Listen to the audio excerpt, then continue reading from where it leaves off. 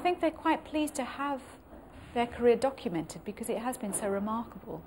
And this is probably the least intrusive way of doing it. I mean, a film crew, as you can see, it's got people, more than one person, it's got lighting.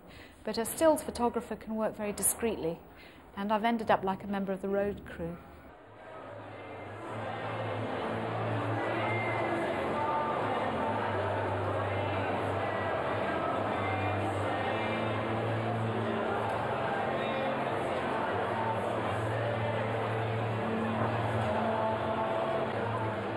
But I do, of course, know that flare ups occur quite regularly, as they do with brothers. And my nearest um, chance to sort of reflect that was the pictures taken of the brothers in Paris, where I think the tensions are pretty obvious in the pictures. Body language is, is there.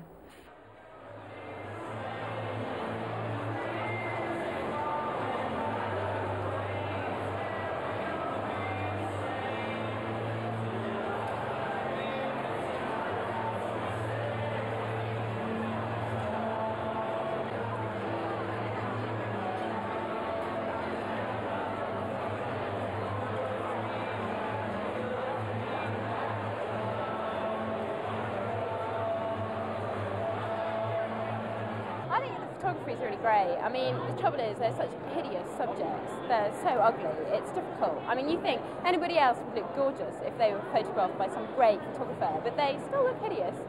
I don't think you could call Noel and Liam not good looking. I think they are. They've got something. They're quite photogenic. By seeing the personal moments, you actually get closer to what they're really like.